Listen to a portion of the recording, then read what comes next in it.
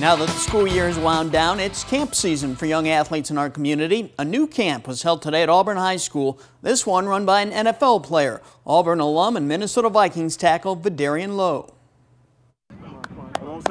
Lowe has the weekend off between his own camp sessions in Minnesota with the Vikings.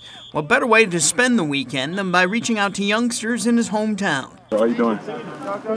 What's up, man? This has been something that me and my grandfather have talked about for years. I feel like this time is right now. Um, I feel like I've established myself a little bit. I feel like I've been put in a position. You know, um, kids look up to pro athletes, and um, this is what it's all about. Everybody goes on the whistle.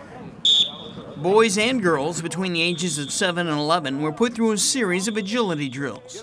Keep your feet moving, keep your feet moving, keep your feet moving. Just get out your way, get out your way, Take off. Hit it hard, hit it hard, hit it hard, hit it hard. Sports is for everybody. You know, this is for they're there for everybody. You know, boys, boys and girls. You know, football is a game where you just come out, you know, run, stretch your legs, um, show your agility, show your speed. On three, we say Vederian Lowe, all right? Okay? One, two, three. All right, go to your next station, guys. Lowe wasn't the only Minnesota Viking at Auburn. He brought three of his teammates with him fellow offensive linemen Ed Ingram and Josh Sokol, and tight end Nick Muse. Lowe was great about interacting with the kids, throwing some passes. He showed them how NFL linemen develop their strength and endurance by doing the rope drill. Then it was the kids' turn.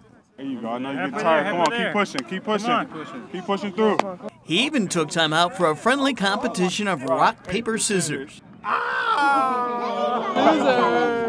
Next came a group photo. Say cheese. Here we go. One, two, three. Hold that.